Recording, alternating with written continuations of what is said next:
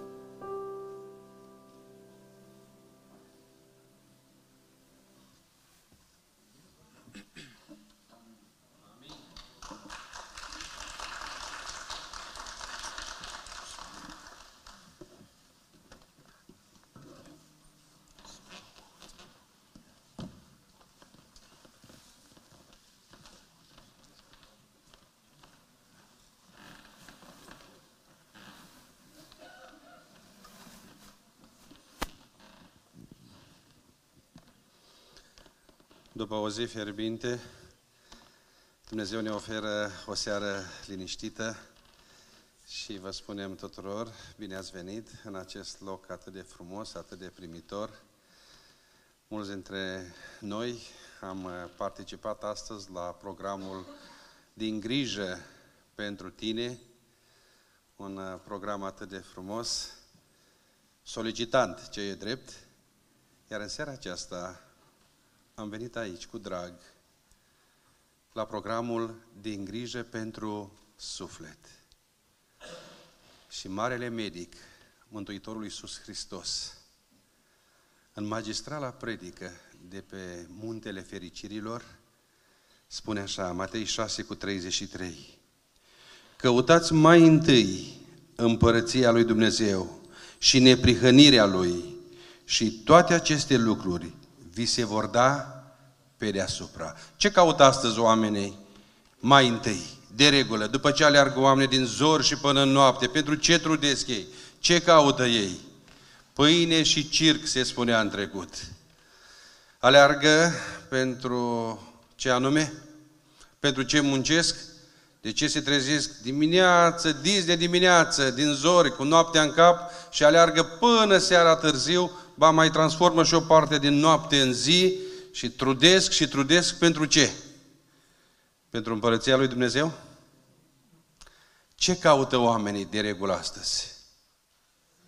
Neprihănirea lui Dumnezeu? Mântuitorul, acela care este calea, adevărul și viața, ne face o invitație. Căutați mai întâi, înainte de orice, împărăția lui Dumnezeu și neprihănirea Lui. Suntem chemați, suntem invitați să căutăm împărăția Lui Dumnezeu. Dar nu doar atât. Mulți spun astăzi, da, vreau să merg pe calea lui Dumnezeu, vreau să ajung în împărăția lui Dumnezeu, dar câți caută cu adevărat și neprihănirea lui Dumnezeu? Și toate aceste lucruri vi se vor da pe deasupra. În seara aceasta vom avea parte de muzică liniștită, plăcută, frumoasă, care să aducă pace sufletului nostru, sănătate trupului nostru. Vom avea parte de un seminar de sănătate prezentat de doctorul Pavel Popa de la Brăila, doctor primar, mi-a fost profesor, un om extraordinar, și vom avea parte și de un cuvânt pentru suflet, rostit de pastorul Valentin Dănăiață, pastor la Biserica Adventistă Română din Loma Linda, California, Statele Unite ale Americii. Bine ați venit, o seară frumoasă și pacea Mântuitorului Iisus Hristos să fie cu noi cu toți. Amin.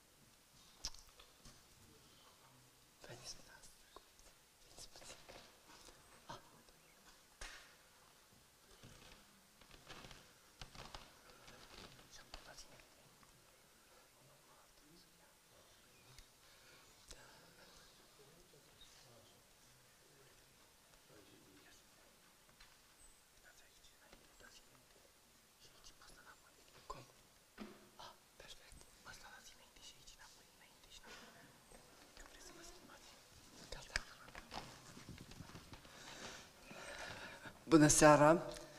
Mă bucur că sunt împreună cu dumneavoastră. Parcă în viață am dorit să auzim muzica din lumea nouă, care să ne încânte, dar uh, uneori în viață întâlnim și evenimente neplăcute. Tema aceasta pare destul de îngrozitoare, aduce teamă în orice suflet, în orice familie. Vreau ca în întâlnirile noastre să vedem că prezentarea acestei teme constituie o veste bună, pentru că voi axa prezentarea pe aspecte de alarmă care semne luate în atenție pot să rezolve o problemă care poate să fie catastrofală pentru unii. De ce tema aceasta, cancerul, și am zis cancer actualități? Tema se va desfășura în trei întâlniri. În seara aceasta, un 10-15 minute, mâine seară și marți seara vom termina. De ce?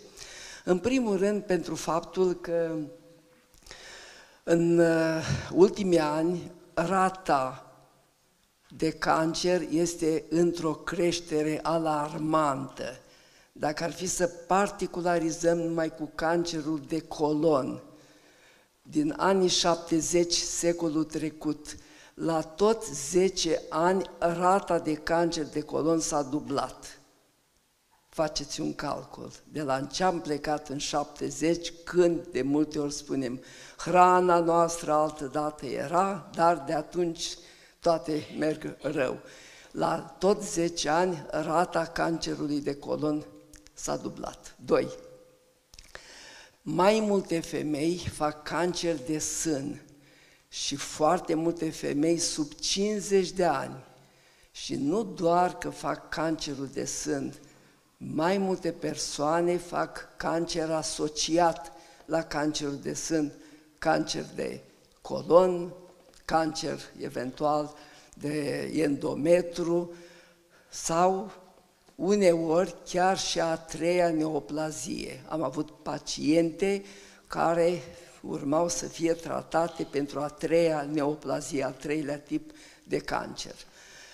Deci este un motiv care trebuie să însemne preocuparea societății, preocuparea noastră. Al doilea motiv, și voi sublinia de fiecare dată, noi suntem creați de Dumnezeu într-un mod extraordinar și prin creație noi nu suntem vulnerabili, ci neglijența și abuzul de factori de distrucție ne fac vulnerabili. Și chiar în seara aceasta voi aminti ceva din ceea ce înseamnă invulnerabilitatea noastră prin creație, prin materialul genetic care este foarte stabil. Și eu pot să spun că uh, mergând, analizând aspectul cum apare cancerul, găsim argumente împotriva evoluției. Mutația niciodată nu o să dea progres mutația, prin sumări de mutații, omul degenerează. Există o expresie, dacă noi la creație nu eram cu o vitalitate cam de 20 de ori mai mare decât astăzi, să zicem, cel mai strong, cel mai sănătos om, n-am fi mai existat pe pământul acesta.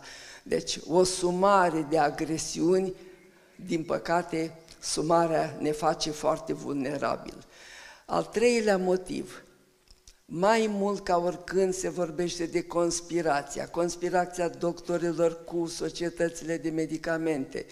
De fiecare dată uh, fake-urile funcționează și oamenii iau informațiile care nu sunt ziditoare, ci din potrivă pot să aducă mai degrabă groaza în față și trecerea peste un moment benefic privind boala aceasta. Al patrulea motiv îl voi sublinia marți seara după ce va fi desfășurarea. Și doar îl enunț. Indiferent ce se întâmplă, ce tip de cancer, în ce stadiu, trebuie început trebuie făcut ceva, trebuie făcut un tratament avizat și există șanse chiar de vindecare. Când este vorba de cancer, trebuie să avem în vedere aspectul de semne de alarmă. Și vom mai vedea semne de alarmă.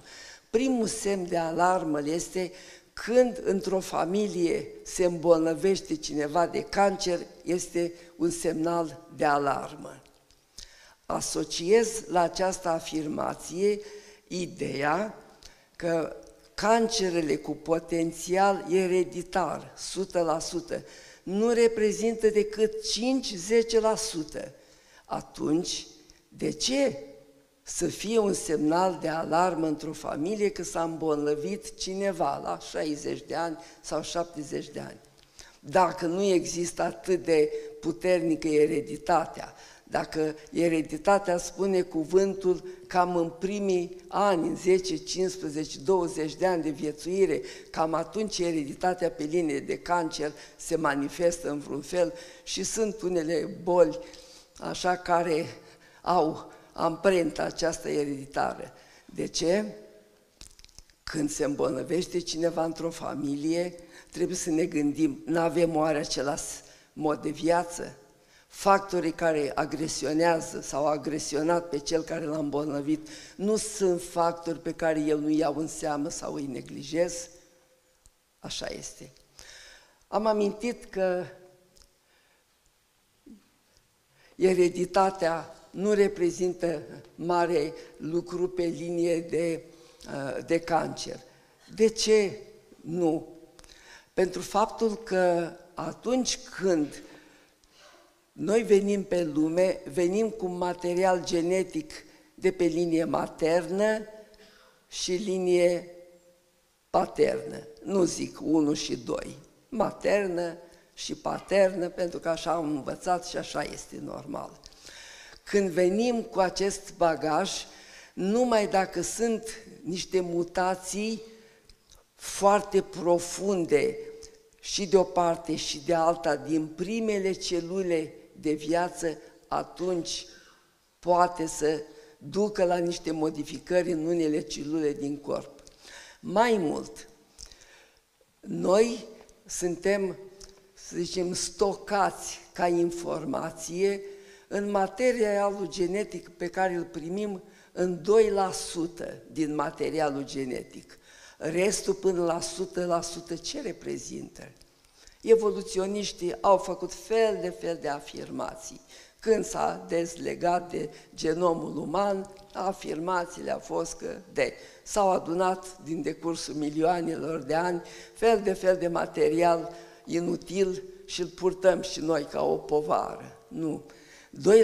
2% este materialul care ne codează informația, dar restul reprezintă softul ca la un calculator, ca să fie, să fie grijă de modul în care se transmite informația de la o celulă la alta prin diviziune, este nevoie de un control deosebit.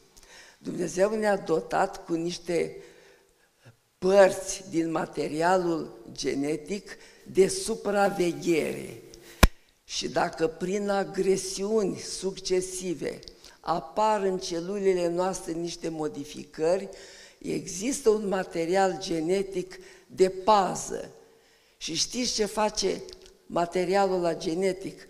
Dacă modificarea în celula care trebuie să se înmulțească este prea mare, comandă distrugerea celulei numai ca să nu se dividă și să ducă eroarea mai departe.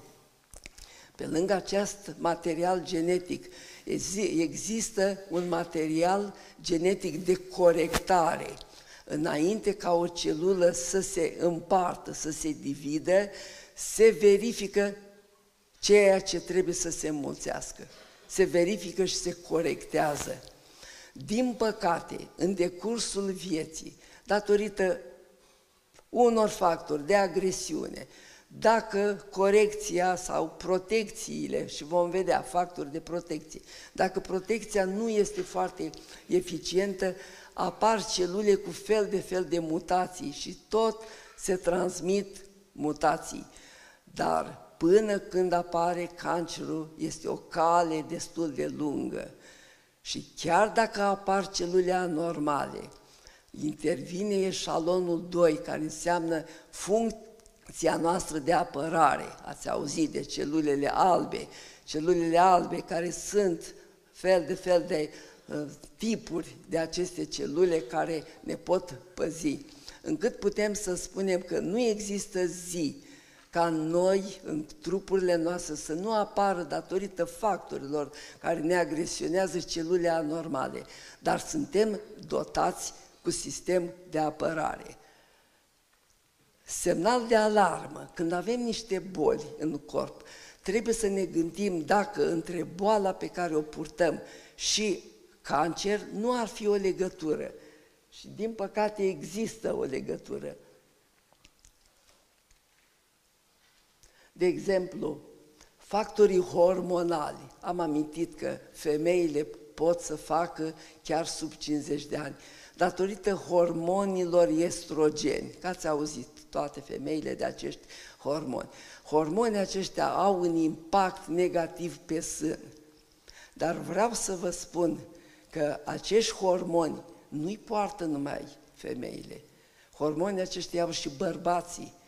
Și din păcate, grăsimea pe care o adunăm în jurul buricului la burtă, grăsimea aceasta de la o anumită vârstă, când devine mai mare, mai, mai importantă în greutatea noastră, devine o grăsime secretantă de hormoni și în special de estrogeni.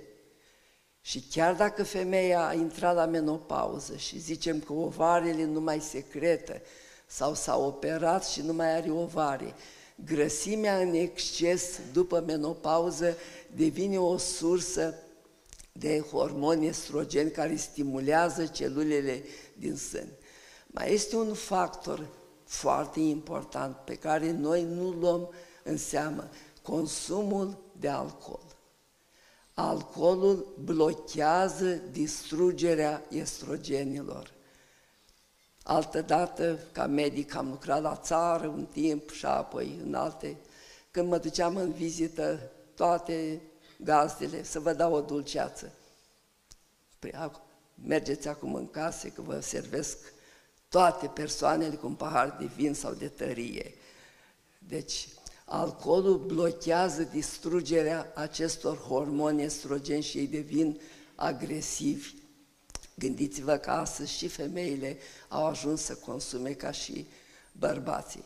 Deci grăsimea, consumul de alcool și vom vedea în întâlnirea de mâine, alcoolul este solventul care nu este oprit și intră în toate celulele și alcoolul cară după el fel de fel de factori care ne vin din afară, din alimentație în trupurile noastre. Și mai este încă un factor important când vorbim de estrogeni, nivelul de vitamina D. Astăzi noi nu mai stăm la soare ca altă dată și perpetuăm o lipsă de vitamina D. Diabetul zaharat ne poate predispune, hipertiroidismul, factori imunologici, ca în bolile imune. Doar câteva cuvinte despre factori pe care nu-i putem atât de mult controla. Aminteam că cancerul cu potențial genetic mare reprezintă 5%.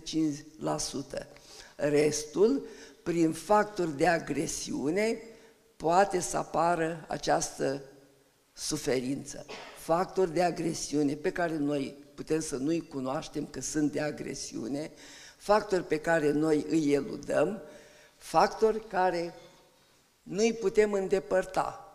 Iată, radiațiile ionizante de orice fel, iradierile, toate tipurile de radiații pot să pătrundă în materialul genetic și să-l modifice. Radiațiile ultraviolete, ultravioletele și melanoamele, după aceea radia, cu câmpurile electromagnetice, toate casele sunt cu câmpuri multiple electromagnetice de la deci cuptorul cu microunde, telefon, telefoanele, laptopurile, toate pot să devină o, o sursă. După aceea, sunt factori chimici din mediu, hidrocarburi de orice fel. După aceea, medicamente care pot să aibă un asemenea potențial. Sunt unele medicamente care în momentul când se descopere acțiunea, ele sunt îndepărtate. Contraceptivele și astăzi foarte multe persoane încă din tinerețe iau contraceptive. Dar nu în ultimul rând, fel de fel de bacterii și virusuri care au posibilitatea prin agresiune să asalteze materialul genetic și să dea o modificare. Deocamdată ne oprim aici și vom continua mâine seară. Vă mulțumesc!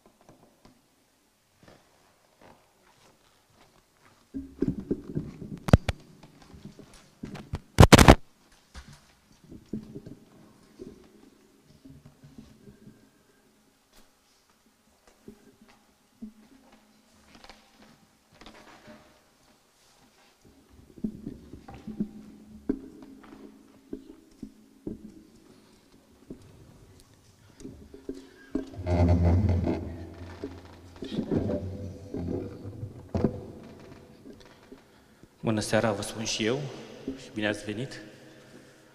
Și pentru că m-a auzit cineva cântând în seara asta, a zis să mă pun să cânt și eu ceva în seara aceasta.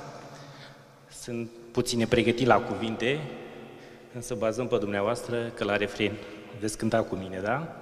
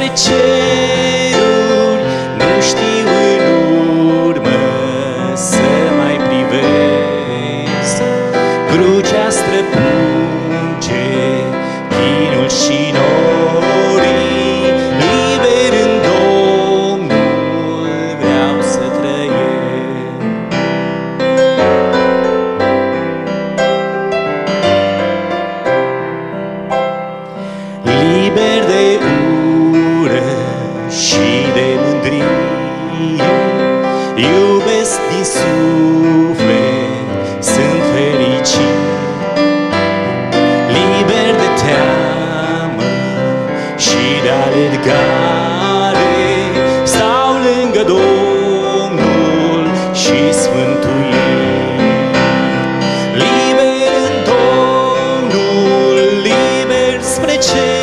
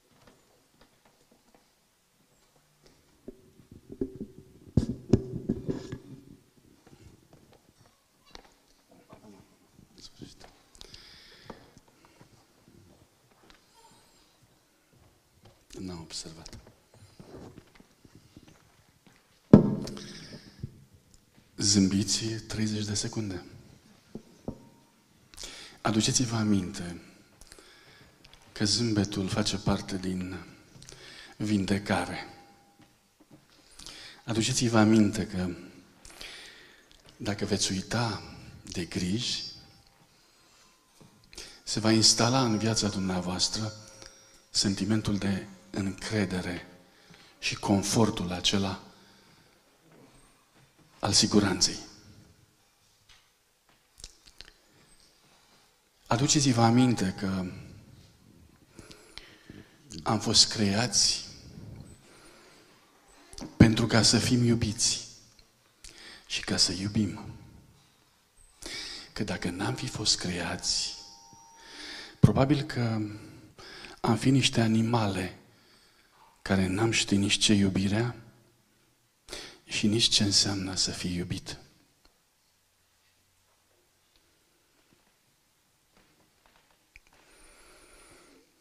Am participat la o mormântare mai de mult și în timpul înmormântării am avut curajul să spun că din punct de vedere științific nu știm nici ce este viața, nici ce este moartea. Când am coborât de la platformă de unde am ținut mormântarea, se apropia de mine un domn peste 70 de ani și mi-a spus, nu vă supărați, se vede că n-ați fost la cursurile mele. Și am răspuns, da, nu am fost. Și el zice, ați greșit. L-am întrebat în ce? Și mi-a spus, știm suficient de mult pentru ca să fim siguri că viața n-a apărut la întâmplare și că a fost cu siguranță creată. Cel ce îmi vorbea era un profesor doctor în biochimie la Universitatea din Loma Linda. I-a mulțumit. Mi-a dăruit o carte scrisă de el, pe care am citit-o repede și pe neresuflate. Am reținut câteva lucruri. Vă voi împărtăși doar unul dintre ele.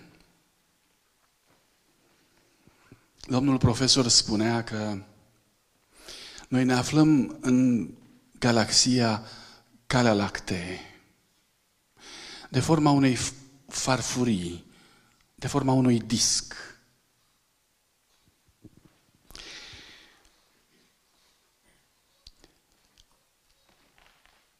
Milioane de stele sunt în această galaxie. Milioane.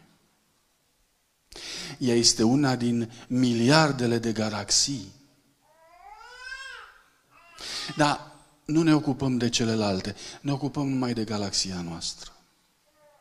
Și el spunea, imaginează-ți că reducem galaxia noastră, Calea Lactee, la o distanță de care să aibă, mă rog, diametrul să fie de 100 de kilometri. Deci de aici până unde? Poftim? Până la Brăila sunt 100 de kilometri? Bun. Mă rog. Hotărâți dumneavoastră până unde. Brăila, Ploiești, nu știu. Deci, comprimați galaxia Calea Lactee pe o distanță de aici până la Ploiești sau Brăila. Vă rog să-mi spuneți, să ghiciți, să intuiți cam ce distanță ar avea sau ce mărime ar avea nu Pământul, ci sistemul nostru solar cu toate planetele lui, cam la ce distanță sau la ce mărime s-ar reduce sau ar ajunge. Ce părere aveți? Deci, încă o dată, de aici până la Brăila, de aici până la Ploiești, sistemul nostru solar cam cât ar fi? Ghiciți, aruncați cifre, haideți. Un centimetru. Dumneavoastră a zis sub un centimetru. Cât e? Mai ziceți. Că vreau să vă spun, contează. Adică aș vrea să intrați în interacțiune cu mine, ca nu cumva să adormiți. Mai ziceți. Of, nu, nu greșiți orice ați zice. Nu chiar așa. Realitatea este 2 milimetri. 2. V-am auzit. V-am auzit. 2 milimetri. Vă rog frumos, căutați într-o distanță de aici până la Ploiești. Căutați 2 milimetri. Îi, îi găsiți? Îi găsiți? Da, căutați, e serios. În acești 2 milimetri sunt toate planetele din sistemul solar. Vă rog frumos, căutați Pământul. Îl găsiți? Pe planeta Pământ, căutați-l pe Valentin. Spuneți-mi, vă rog, cine e Valentin? Nu, nu, nu. Nu. Din punct de vedere al dimensiunilor, al raporturilor spațiale, Valentin e Zero. Aș vrea să înțelegem că noi trăim paradoxuri, lucruri de neimaginat. Într-o realitate de felul acesta. Noi suntem chemați să judecăm dimensiuni imposibil de măsurat. Adică pe teritoriul ăsta de aici până la Ploiești sau până la Brăila, sunt milioane de astfel de planete. Realitatea nu numai că mă depășește, realitatea în pluralitatea ei mă face să mă pierd. Cu cât mă compar mai mult, cu atât eu devin mai mic și mai nesemnificativ. Vreau să vă întreb un lucru. Ce șansă am să înțeleg că sunt iubit în condițiile în care atunci când mă compar la nivelul acesta al dimensiunilor, eu ajung, că sunt, ajung la concluzia că sunt zero. Cum pot să dezvolt o identitate și o personalitate importantă câtă vreme eu ajung la concluzia că sunt nimic? Și o realitate nu e o exagerare. Și vă rog să observați că n-am nicio șansă ca să devin important decât dacă eu mă reflect sau mă reprezint prin altcineva mai mare decât mine. Și ăsta a fost planul creației. Planul creației a fost ca un om care din punct de, de vedere al dimensiunii nu reprezintă mare lucru, aproape nimic, omul acela să devină ceva în momentul în care se reprezintă prin cine? Prin cine? Prin Dumnezeu. Dumnezeu devine oglinda mea, devine garanția mea, devine certitudinea mea. Când mă uit la El, prin reflectare, în felul acesta eu devin important, devin o personalitate, devin cineva datorită acestui circuit. Dacă îl dați pe Dumnezeu la o parte, iertați-mă, nu mai am nicio șansă să mă regăsesc ca personalitate și ca identitate în lumea asta. Din cauza asta, omul fără Dumnezeu devine, în esență, în personalitatea sa, un bolnav datorită faptului că nu reușește să se identifice. Bolnavul este acela care nu reușește să-și găsească locul în lumea noastră. Și nu trebuie să fii un bolnav din punct de vedere al mușchilor.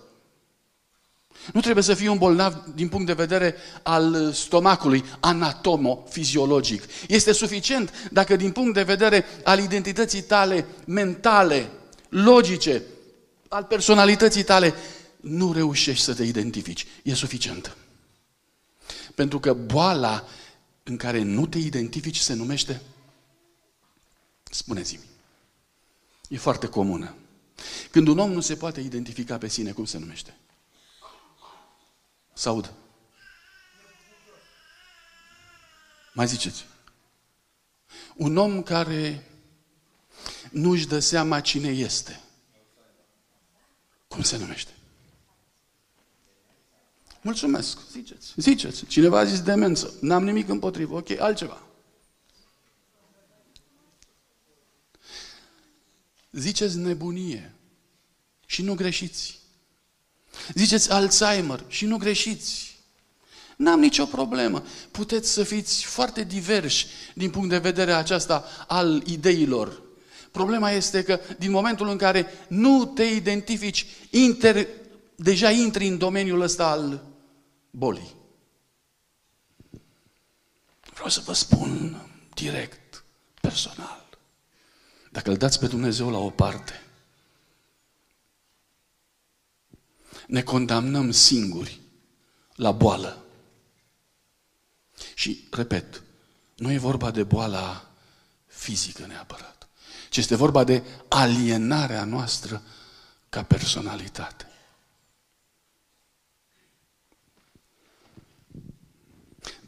Personalitatea este posibilitatea omului la conștiință de sine, unu, și la autodeterminare, doi.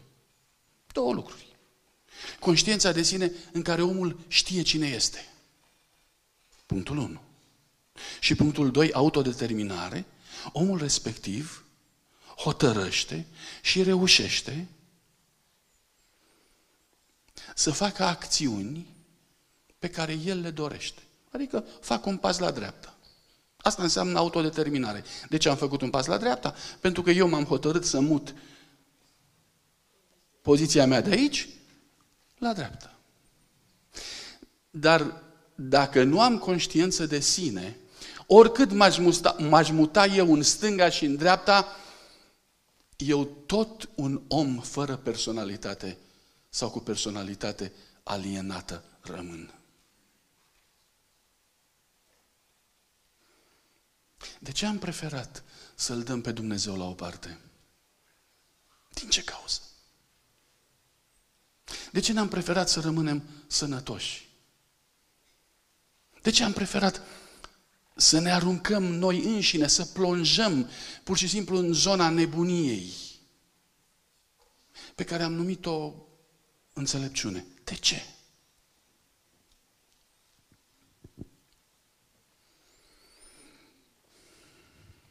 Domnul doctor dinaintea mea a vorbit despre cancer. Este îngrozitor, este terefiant.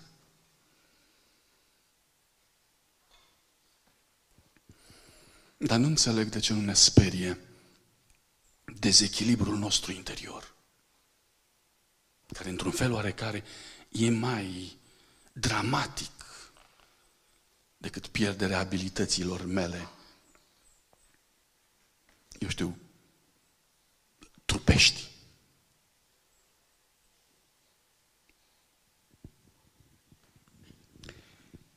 Aș vrea să folosesc Scriptura pentru momentele astea de suflet. Și aș vrea să leg această realitate de aici, despre care am vorbit, cu o realitate din Sfânta Scriptură.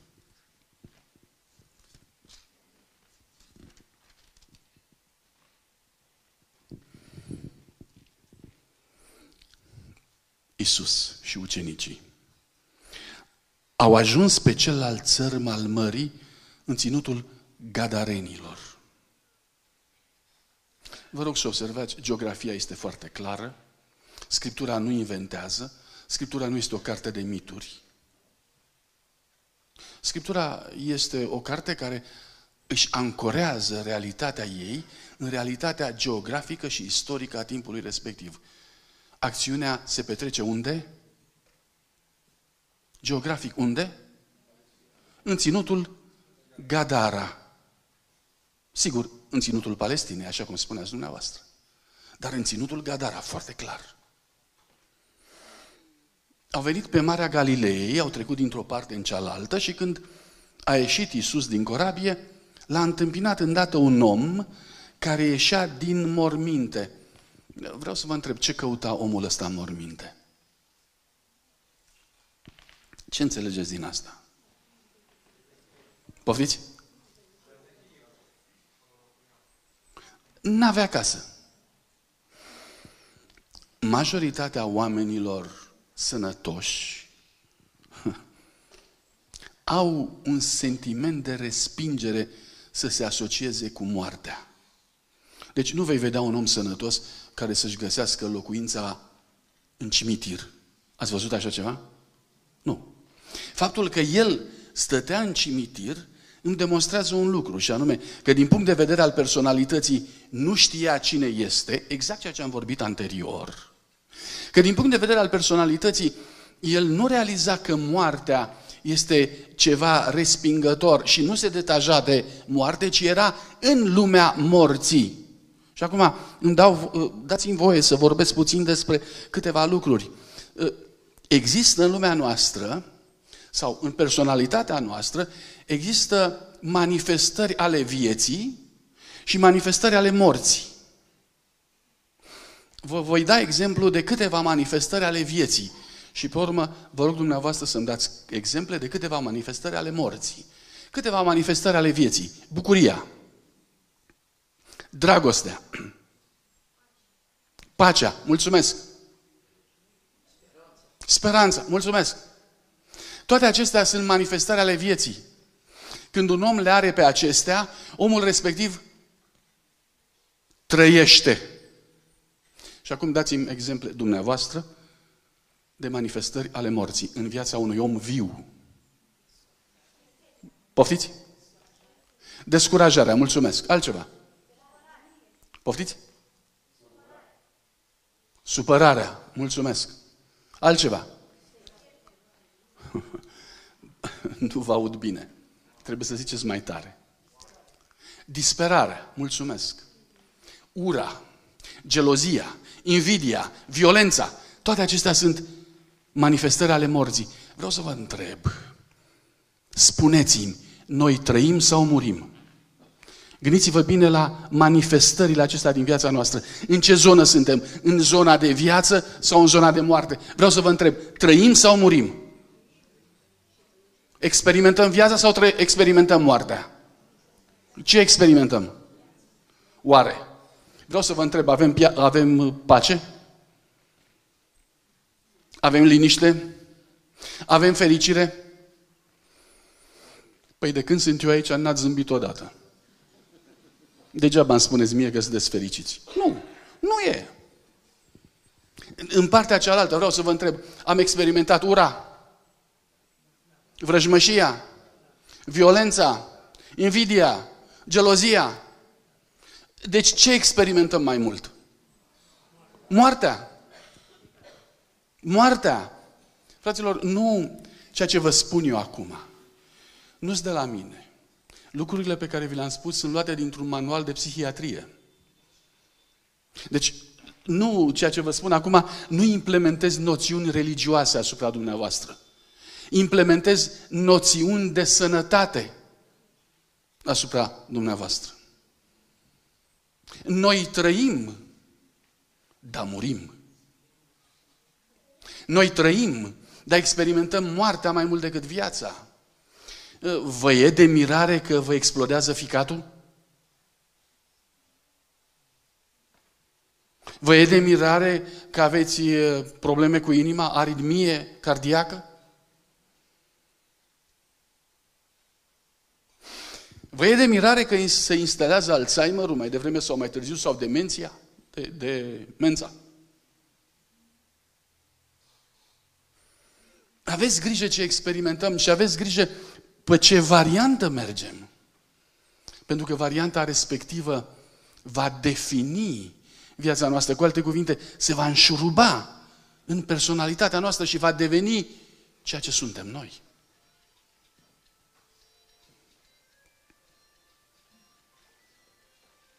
Aștept să se termine.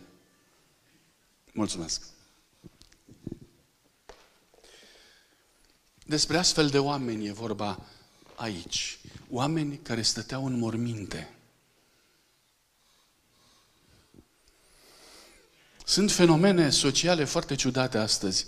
Ați auzit de tineri care se taie cu lama? Ați auzit? De, de ce o fac? De ce o fac? Nu-i doare? V-ați tăiat vreodată cu lama? E dureros sau nu? Doare. Păi și de ce o fac dacă doare?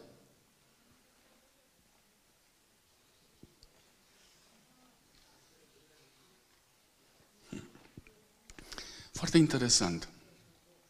Întrebați de ce o fac? Tinerii au spus,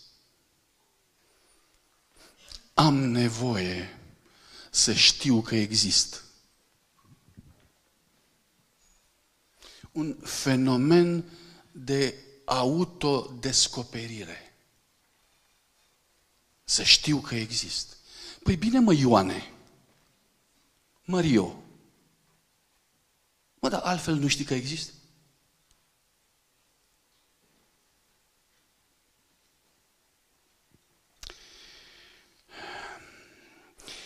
Deci un om care ieșea din morminte stăpânit de un duh necurat. Foarte interesant uh, cuvântul Scripturii. Cum era Duhul? De ce îi zice necurat? Nu, nu intrați în demonism încă. Vă rog frumos, spuneți-mi de ce îi zice necurat. Era murdar, nu era spălat cu săpun? Dero, perlan? Nu, nu e vorba de asta. E vorba de o realitate a necurăției pe care o transmite un spirit. Un anume, un anume spirit, o anumită atitudine care aduce în viața omului aceeași realitate a necurăției. Și nu e vorba de necurăția fizică, ci e vorba de o necurăție morală, intelectuală, o necurăție a ființei interioare. Un duh necurat. N-aș vrea să vorbesc sau să intru în demonic foarte mult acum și nu vreau să vă gândiți în felul acesta. Aș vrea să vă gândiți puțin altfel. Gândiți-vă la spiritul social astăzi, care aduce asupra generației noi mizeria imoralității. Și gândiți-vă la tinerii aceia care astăzi, sub o astfel de invazie, își pierd curăția lor și o pierd. Și în necurăția pe care o moștenesc, ajung să-și piardă identitatea și nu mai știu cine sunt. Și ca să știe cine sunt, se taie, se schingiuie, se... Mulțumesc! Dar ce, numai tinerii pățesc asta? Cei în vârstă, nu? Încă o dată, noi ne plângem de bolile noastre organice, dar vă rog să observați că există o boală, o boală mult mai puternică în spatele acestor boli. Bolile noastre organice devin momentele noastre de explozie. Pentru că boala este fenomenul de sumațiune lentă în care se adună niște excese în fiecare zi. E o picătură azi, o picătură mâine, o picătură poi mâine, până când se umple paharul. Spuneam la momentele noastre de consiliere, și când se varsă paharul, se varsă cu o picătură, să știți. Ultima picătură e tot o picătură. Și când se varsă paharul, persoana se întreabă, dar de ce s-a vărsat paharul? Că n-a fost decât o picătură. Și el uită că înainte, înainte în spatele acestei picături, au mai fost câte? Asta e boala. Acumulăm, strângem și la ultima picătură dă peste el. Ce am făcut, mamă? Că am mai mâncat odată. Bine, și înainte de asta, de câte ori mai, ai mai mâncat? Ce am făcut, mamă, că am mai băut odată atât? Și înainte de asta, de câte ori ai mai băut? Ce am făcut, mamă, că am mai fumat o țigară? Și înainte de asta, cât ai mai fumat? Cam asta e boala. Vedeți, când citim Scriptura, în adânc ne regăsim. Ăsta este exercițiul pe care vreau să-l fac cu dumneavoastră. Vreau să vă apropii de această carte, care nu este doar o carte mistică, este o carte în care eu mă regăsești, mă regăsesc și tu te regăsești în măsura în care o lași să-ți vorbească. Omul acesta, spune versetul 3, deci încă o dată Marcu 5, acum suntem la versetul 3, omul acesta își avea locuința în morminte, nimeni nu mai putea să-l țină legat, nici chiar cu un lanț. Vreau să vă întreb, din punct de vedere fizic era sănătos? Era sănătos sau nu? Păi dacă nu mai putea să fie, nu numai că nu putea să fie legat, ă, cât de sănătos era? Auziți mai departe. Auziți mai departe. Căci de multe ori fusese legat cu picioarele în obezi. Ce înseamnă obezi? Sunt niște arhaisme, astăzi nu le mai folosim. Ce înseamnă orbe, o, o, o, obe, no, obezi? Cu picioarele în butuci de lemn. Fusese prins în butuci de lemn și strânși, ca să nu poate să meargă. Un fel de cătușe la picioare, dar de lemn.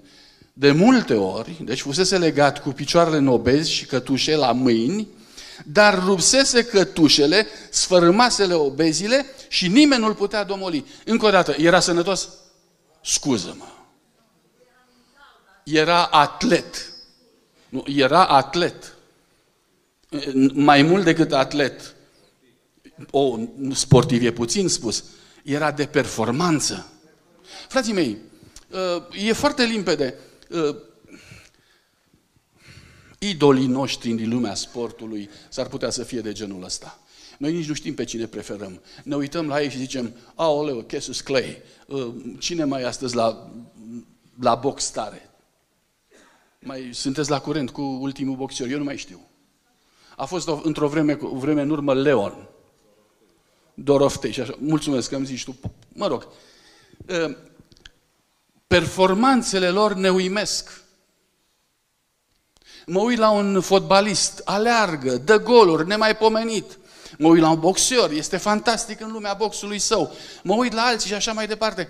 Dar foarte interesant, nu mă uit la ceea ce este foarte important, și anume la partea lui dinăuntru.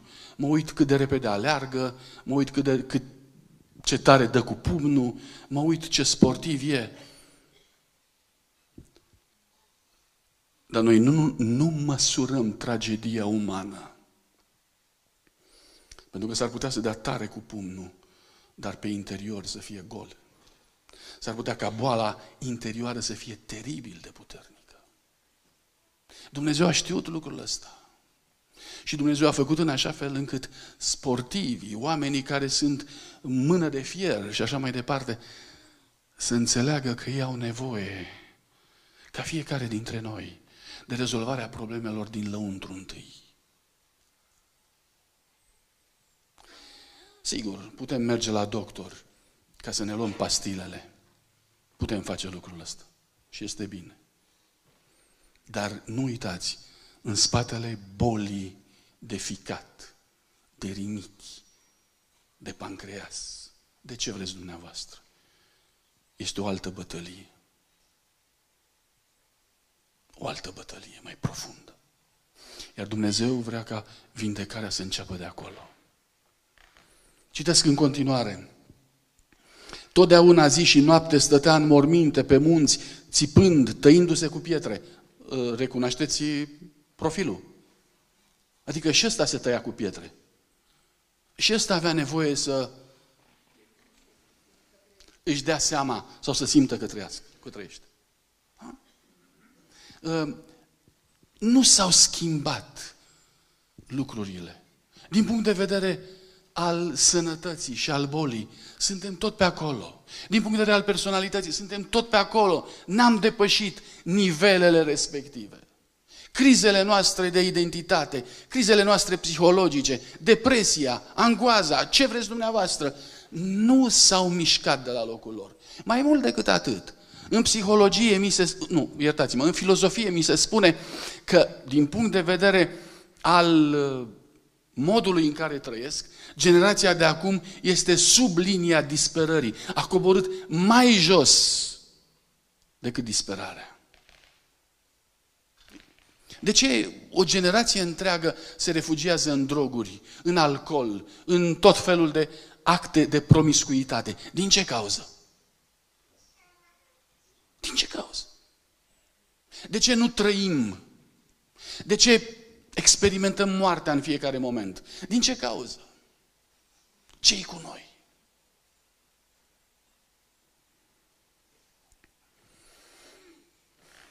Și acum punctul 2, întâlnirea cu Isus. Vreau să vă aduc aminte de lucrul ăsta. Isus Hristos trecuse cu, cu corabia din partea cealaltă, Marea Galilei, coborâse în ținutul Gadarenilor. Aici exista situația asta cu acești, erau doi de fapt, unul mai fioros decât celălalt, cu acești ciudați care trăiau în morminte, cu un spirit de necurăție asupra lor și în sfârșit are loc întâlnirea. Se întâlnește Iisus Hristos cu ei.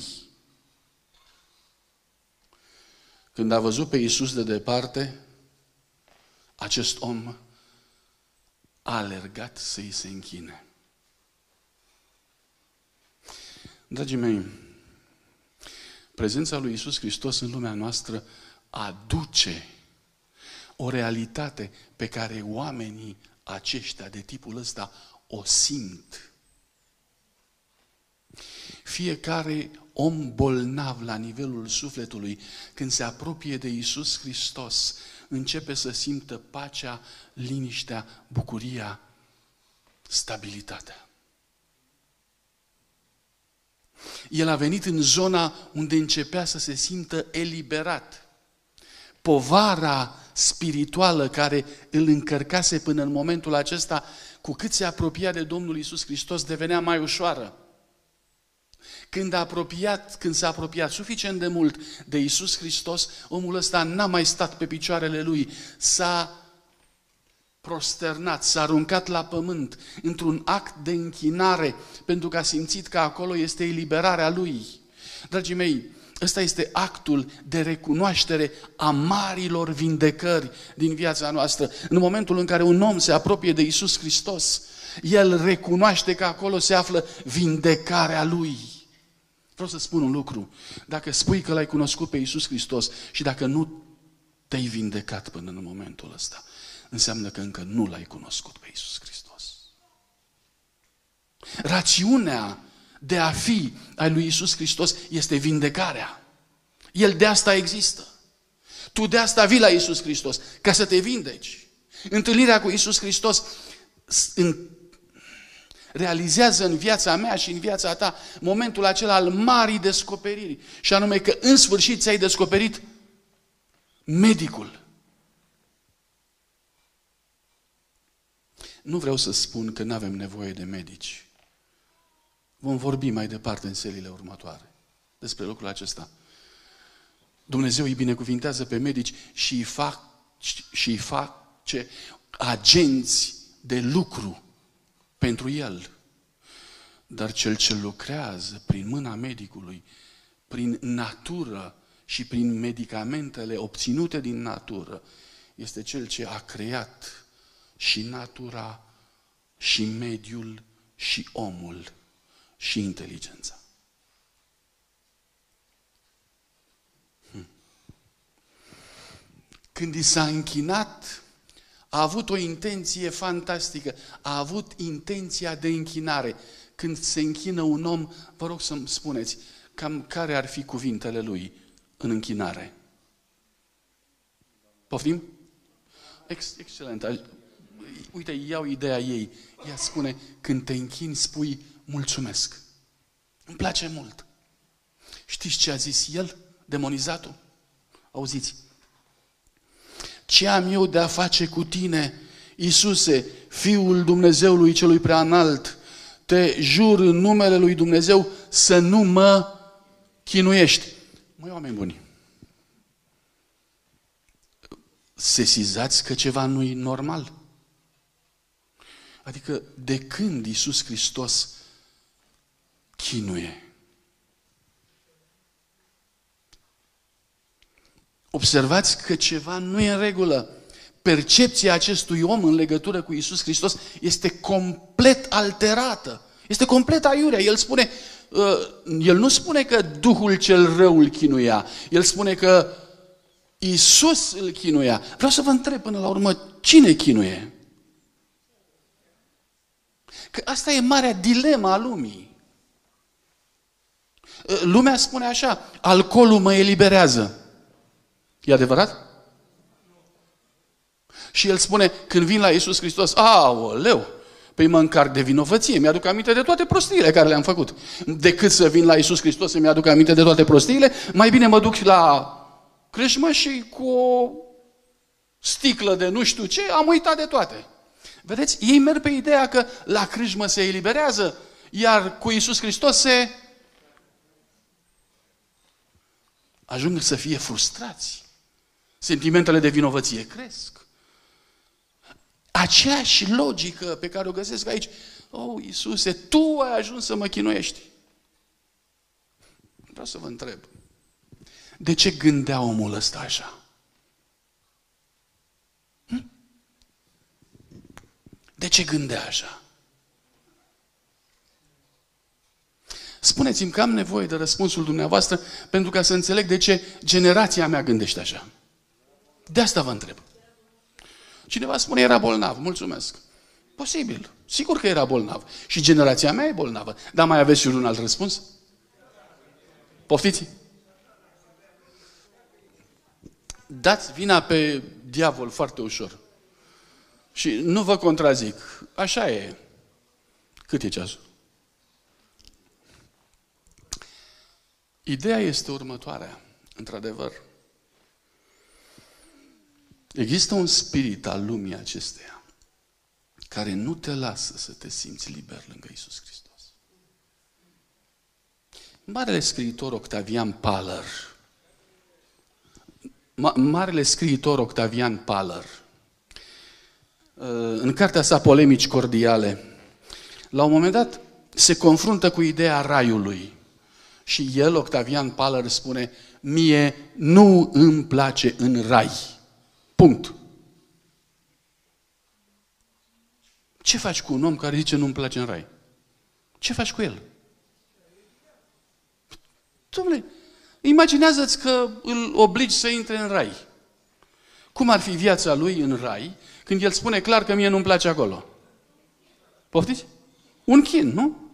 Nu-i mai bine să nu-l duci în rai? Asta e marea problemă. Că oamenii și închipuie că în rai e obligatoriu. Și în iad e de bunăvoie. Când lucrurile sunt invers. În iad e obligatoriu și în rai e de bunăvoie. Lucrurile se schimbă mult. Textul spune că cel ce a vorbit a fost partea aceea de nebunie din el, și anume Duhul cel rău. Există în mare parte în generația mea un duh de nebunie. Nu vreau să arăt cu degetul nimănui, în dreptul nimănui. Nu vreau să acuz. Vreau doar să constat. Ne place să fim anormali.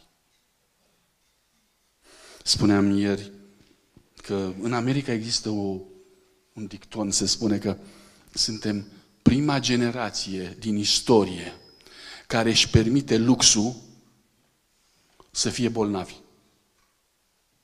Prima generație în istorie. Halal lux, mai ales dacă boala e de genul ăsta. Versetul 8 vorbește despre prima reacție a lui Isus Hristos. Isus Hristos nu judecă pe omul care era înaintea lui prăbușit. Isus Hristos face un lucru fantastic. Face deosebire între om și boala lui. Face deosebire între om și boala lui. Și Isus Hristos este acela care tratează boala și spune așa, Duh necurat, ieși din omul acesta.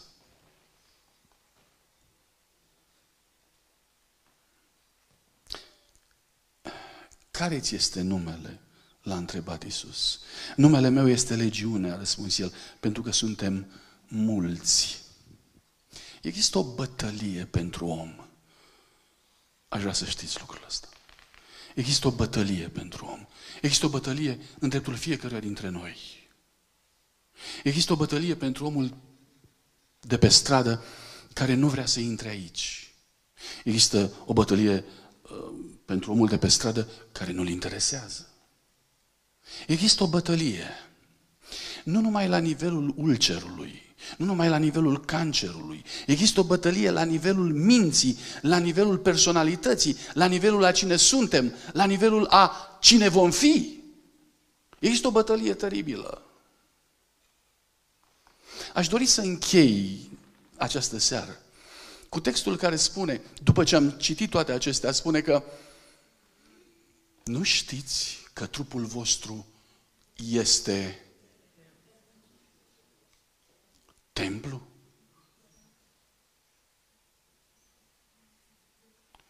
Este o bătălie imensă în legătură cu ce este trupul tău și trupul meu. Noi vorbim acum de vindecare și că ne tratăm încă o dată inima, ficatul, splina, stomacul, ceva. Dar ce faci cu templu? Până la urmă, ideea este că ființa umană este construită în așa fel încât să fie în legătură cu supranaturalul. Și ori ești în legătură cu supranaturalul în lumea lui Dumnezeu, ori ești în legătură cu supranaturalul de dincolo de lumea lui Dumnezeu. Și nu vreau să vorbesc despre asta. Dar oricum, tu ești o interfață a unor forțe care, este, care sunt în spate, unor forțe oculte sau unor forțe divine.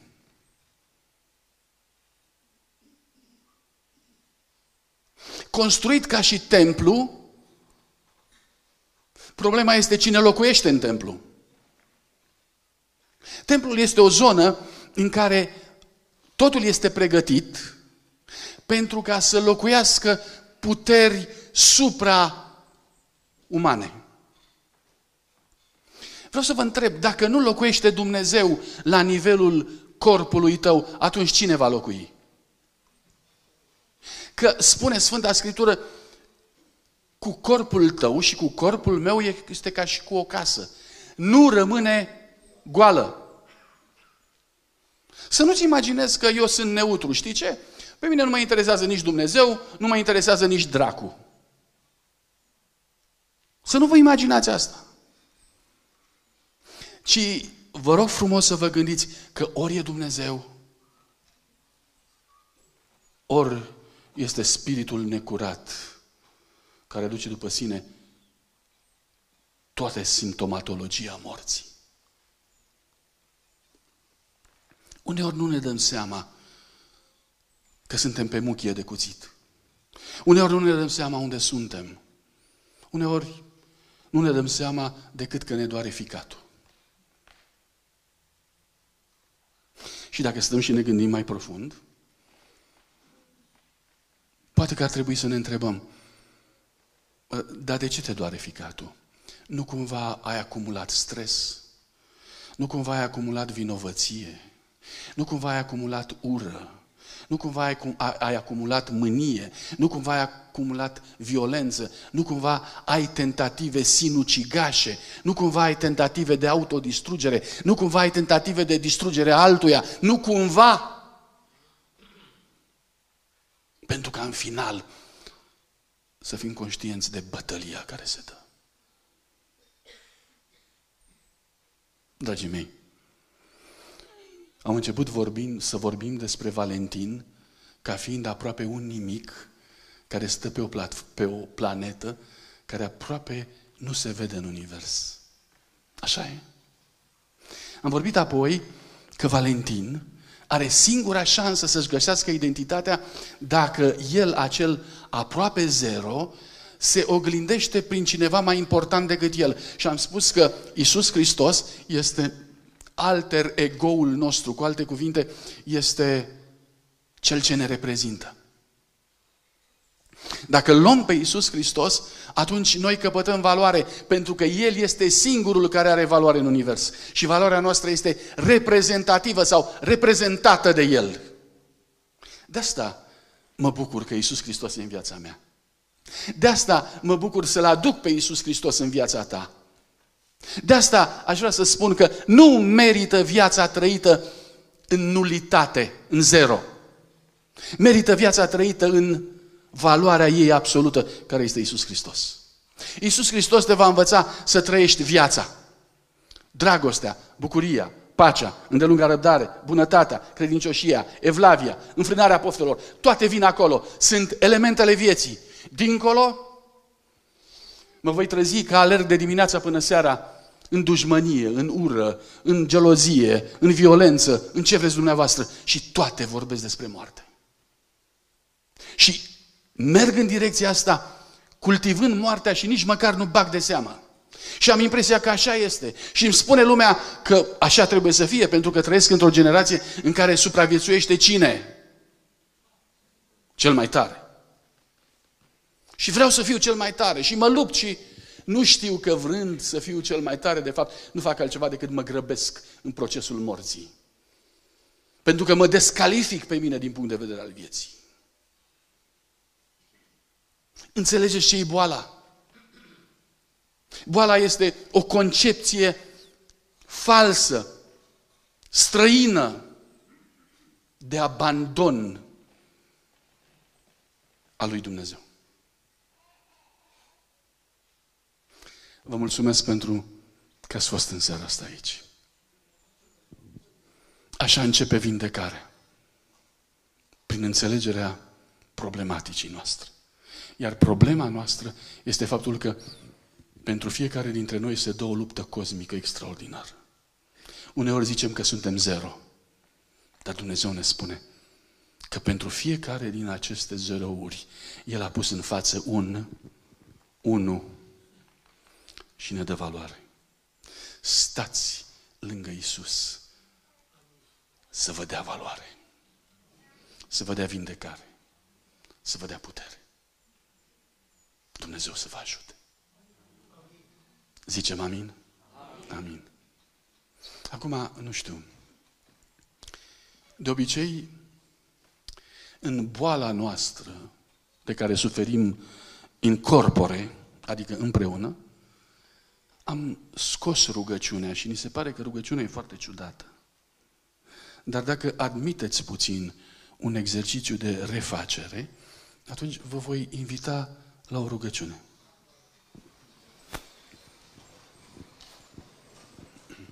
Vă mulțumesc tare mult. Înainte să ne rugăm, dezmorțiți-vă puțin. Mâine seară ne vom întâlni la orele șapte din nou aici. Ce ați zice dacă n-ați venit singuri? Ce ați zice dacă ați lua cu dumneavoastră încă un bolnav? Aduceți pe cel mai bolnav om pe care îl știți. Aduceți-l cu dumneavoastră. Poftiți? Nu. Auziți? Fugeți după el, fugiți după el, aduceți-l. Așa zice, la drumuri și la garduri. Încă ceva, rugați-vă. Încă ceva, rugați-vă. Oamenii nu trebuie aduși prin puterea noastră. Oamenii trebuiesc atrași. Rugați-vă Tatălui să-i atragă. Când veți vedea că sunt atrași, doar alertați-le în ce direcție să meargă. Și ei vor veni. Dar rugați-vă să fie atrași. Spuneți oamenilor că a coborât vindecarea în orașul lor. Și nu faceți trimitere la mine sau la medici, ci faceți trimitere la Cel ce este Marele Vindecător. Și nu-i chemați la pocăiți. Și nu-i trimiteți la adventiști. Că nu de adventiști au nevoie. Au nevoie de Isus Hristos. Și nu pentru că adventiștii n-ar trebui să-L prezinte pe Isus Hristos. Dar dacă există cineva care se împiedică în vreun cuvânt de felul ăsta, schimbați cuvântul. Am avut prieteni cărora nu le plăcea să vorbesc despre Dumnezeu. Și le-am spus așa, dacă nu vă place să le vorbesc despre Dumnezeu, hai să schimbăm vocabularul. Și mi-au zis, ce propui? Propun Tatăl Luminilor. Și le-a plăcut. Și am început să vorbim despre Tatăl Luminilor. Schimbați vocabularul. Chemați pe oameni la vindecare. Haideți să ne rugăm. Tatăl nostru, în numele scump al Domnului Isus Hristos, îți mulțumim pentru că am putut petrece o zi întreagă lucrând pentru Tine. Doamne, ne cerem iertare pentru că am făcut atât de puțin. Pentru că am fost atât de slabi. Pentru că vindecarea a fost la începuturile ei. De aceea te chemăm pe tine să ne dai ajutor. Te chemăm pe tine în ajutorul nostru. Să se împlinească, Doamne, voia Ta, cum e în cer și pe pământ, și să se împlinească aici, în râmnic. Nu pentru noi, ci pentru Tine. Nu pentru noi, ci pentru numele Tău.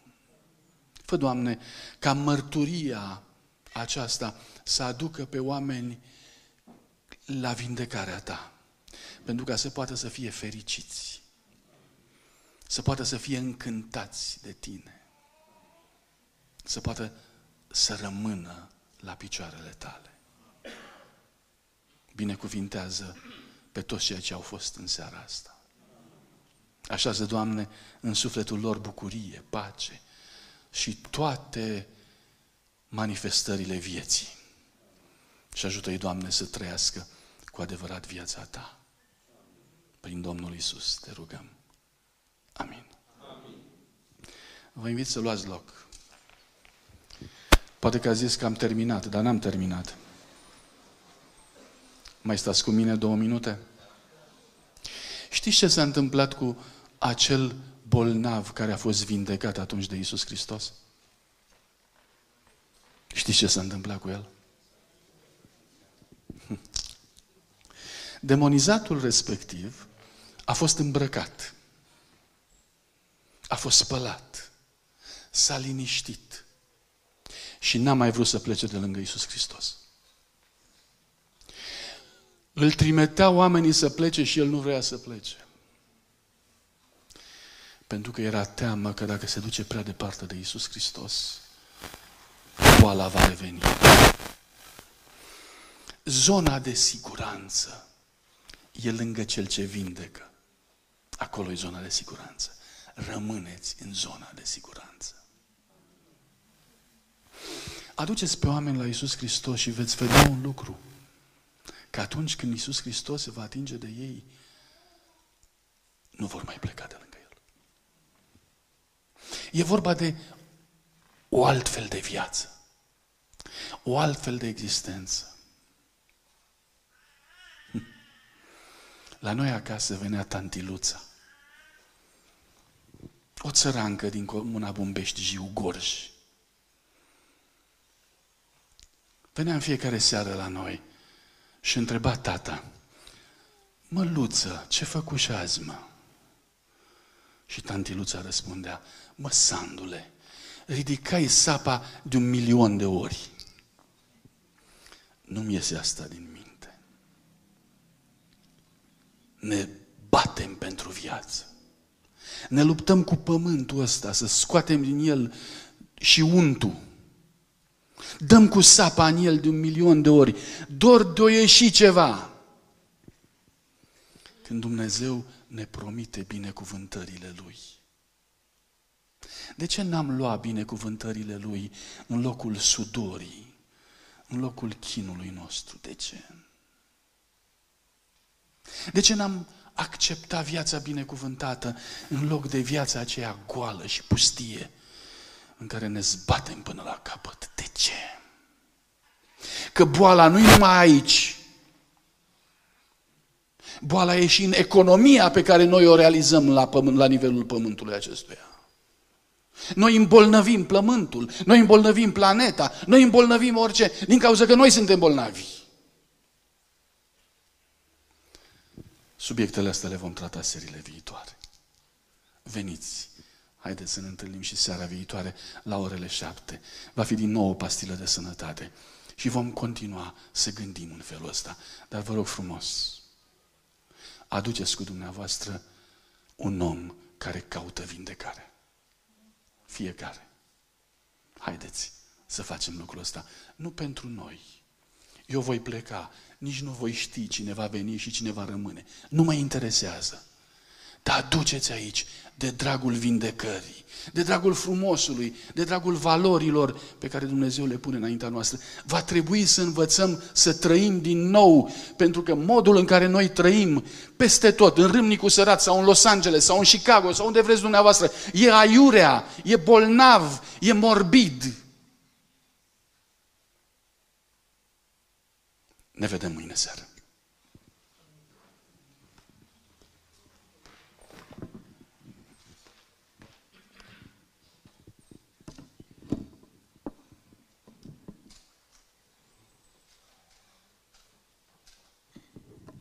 Aș invita să vină cineva să cânte în timp ce ne vom retrage. Pentru că eu n-aș mai vrea să spun un singur cuvânt, pentru că aș vrea să plecați de aici cu dorința să continuăm mâine seară. Uh, cred că vine Lucian, sau hai de vină tu, că ești mai aproape, te rog frumos, pune-ne ceva muzică, să fie frumos când plecăm și să fie frumos când ne întoarcem. Mulțumesc din suflet.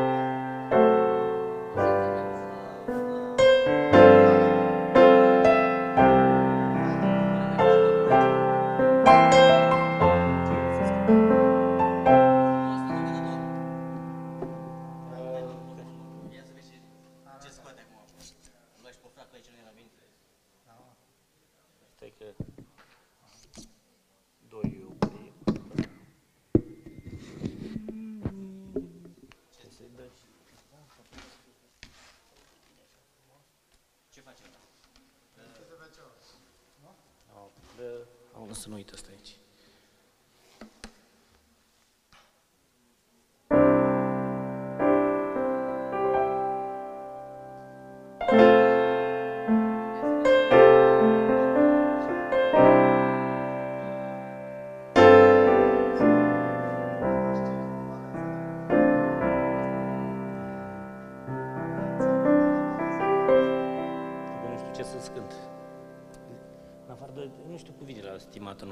zice altceva. Ceva... Uite, și telefonul acolo sub